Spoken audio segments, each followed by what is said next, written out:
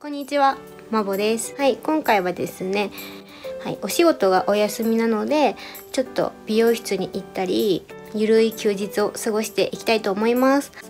はい、ちょっと今回も外での撮影が多いので、ちょっとナレーションなどもつけてお届けしていきたいと思います。今はもうほんと簡単メイクと簡単に準備したので、行ってきたいと思います。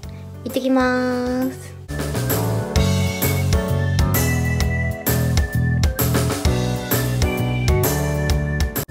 はい、美容室の前に腹ごしらえに来ました。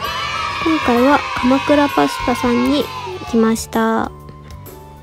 コースメニューやセットメニューが豊富で、パンのバイキングなどがあります。今回は鎌倉セットをチョイスしました。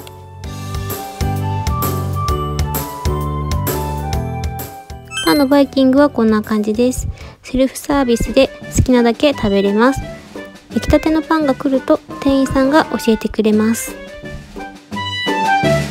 好きなパスタを選んでサラダとドリンクパンのバイキングがついてきます。それではいただきます。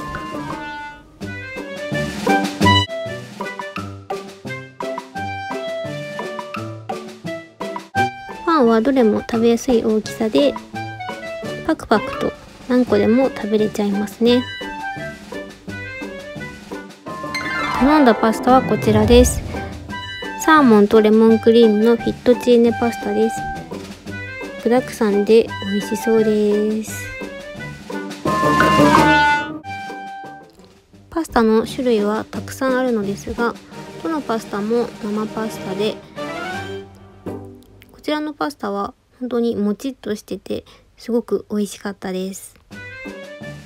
ドリンクは安定のアイスカフェラテを注文しました。パンにもぴったりですね。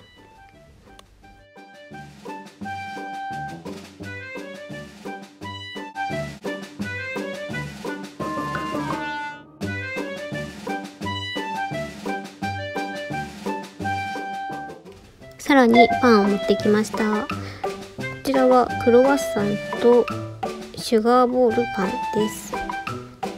どれも焼きたてでサクサクふわふわでとっても美味しかったです。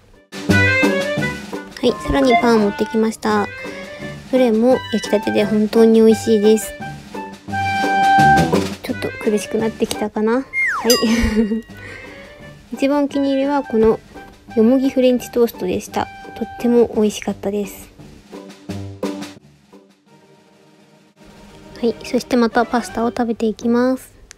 パスタとパンって本当に飽きないですね。で、完食しました。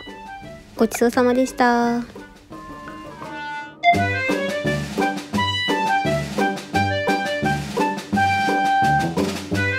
はい、こんな感じで帰宅しました。今回はですね、休日って言ってもですね、午後休みたいな感じで病院とかも行ってたんですけれども、はい、久しぶりにねこう美容院とか行けて髪が染められたので良かったです動画だとえ染めたの？って思われるかもしれないんですがちょっと今日今ね夜に撮ってるから分かりづらいんですけれども外の太陽の光とかに当てるとだいぶ明るくなりました。色的にはベージュブラウンみたいな感じで赤みっていうよりもちょっと黄色みがかったこうちょっとベージュっぽい色にしてもらいました。徐々に色落ちしてきてもうちょっと黄色みがかったベージュっぽい色になるみたいです。前は本当にちょっと黒に近いような色だったんですけれども自分的にもちょっとね春らしいと言いますか明るい髪色になってよかったなって思いました。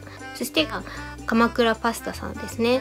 今回はパンのバイキングもプラスしてつけてみたんですけれどもパンも焼きたてで食べれて美味しいですしいろんなメニューのコースがあったのでその時に応じて頼めるのもいいなって思いました。さっきのね映像を見ていただければわかるんですけど最後の方ね本当にお腹が本当に苦しくなるぐらいパンをたくさん食べたのでパスタだったりパンが好きな方にはすごいおすすめだなって思います。ランチメニューとかもあるのでよかったら見てみてください、はい、動画ではちょっと撮れなかったんですけれどもじゃん。はい。ちょこっとアースさんによって、はい、ちょい足しお洋服を買ってきました。ようやくね春らしいと言いますか暑い日とかもあったりして私服なさすぎるわって思ってちょっとちょこちょこ買いなんですけど買ってきました。本当にちょこっとしか買ってないのでこの洋服をレビューするかしないか迷ってるのですがちょっと見たいよっていう方はコメント欄などによかったらご意見をお願いいたします。まあ、今回はこんな感じで、まあ、ちょっと半休だったんですけれども、はい、午後からいろいろ自分の時間が使えてよかったなって思います。本当に緩すぎるビログだったんですが、またちょこちょことこういう動画もアップしていきたいなと思います。最後までご視聴いただきありがとうございました。また次の動画でお会いしましょう。バイバーイ。